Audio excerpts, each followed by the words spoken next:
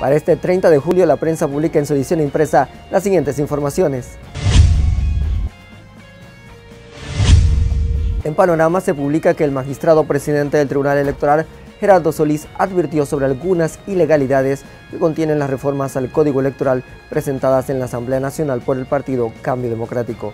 Tanto los magistrados del Tribunal Electoral como miembros de los partidos políticos y la sociedad civil han insistido que para las próximas elecciones se utilicen las actuales reglas del juego porque no hay tiempo para las reformas electorales.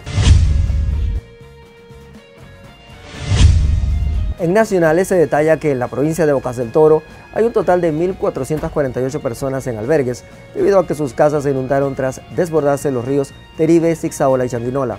Al mediodía de este domingo se reportó que el mal tiempo mejoró en la provincia de Bocas del Toro, lo que permitió que disminuyera el caudal del río Changuinola. Sin embargo, el del Zixaola permanecía igual, por lo que era monitoreado por personal del SINAPROC.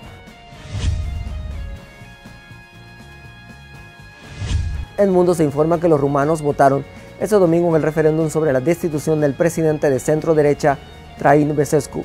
La suerte de Besescu, de 60 años y en el cargo desde hace 8, y ahora suspendido depende sobre el índice de participación. El referéndum solo será válido si más de la mitad de los 18.3 millones de electores convocados acuden a las urnas.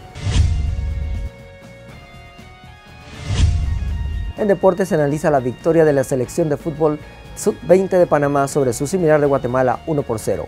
Panamá participa en el segundo triangular de la Unión Centroamericana de Fútbol, el cual define los otros dos equipos de la región del premundial que se disputará en México durante 2013.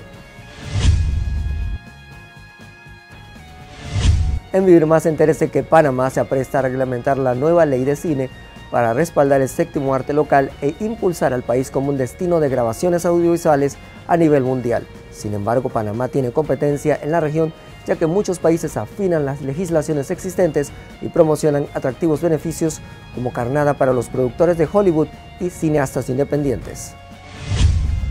Al concluir este resumen, no olvide que este 30 de julio se publica El Pulso de la Nación.